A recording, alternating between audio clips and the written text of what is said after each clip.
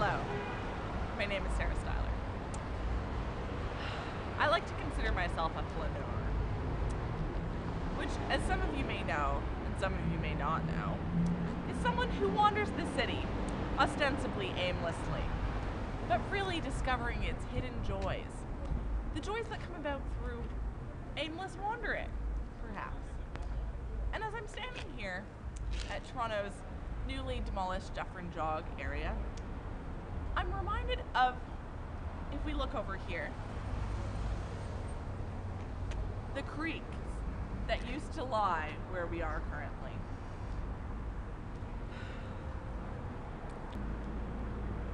Underneath our city, the ghosts of ancient creeks run wild. You know, other cities like Paris or New York, they have their wonders, but I'd like to speak briefly about the wonders of Toronto.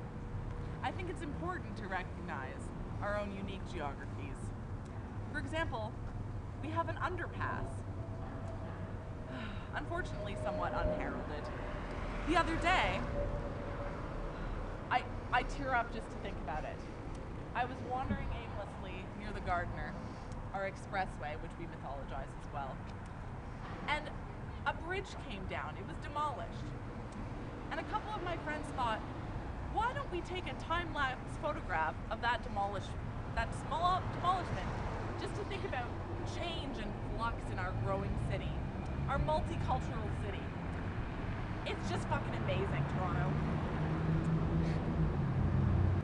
You know, Rome has its amphitheater, but Toronto has hills like this.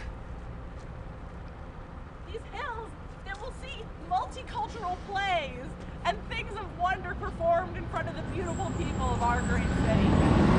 I'm just awestruck at the amazement that is our city. I mean, just look at it. Just look at it.